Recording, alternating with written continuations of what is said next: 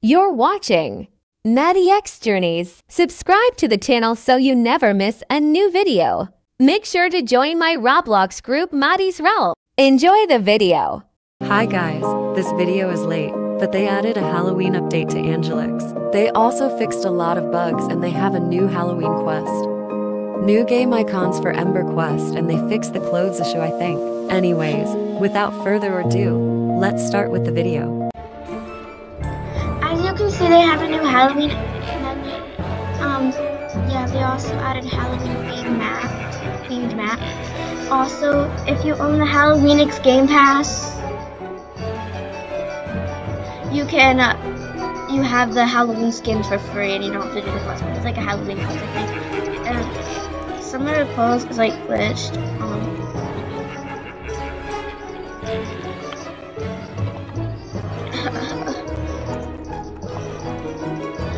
my god. Anyways. But they fixed a couple of things. Um, they also added a few things. And let's check it out. I'm gonna stop.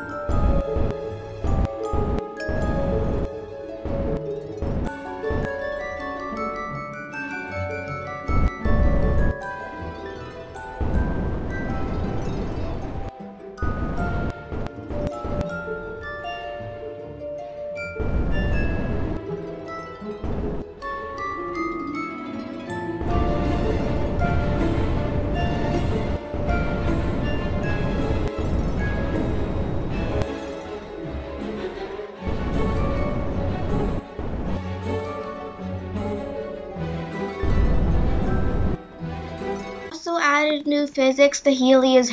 They also added new physics to Helia's hair in the new updates. But it's really good. They also changed Ember's look. They changed Ember's look and stuff.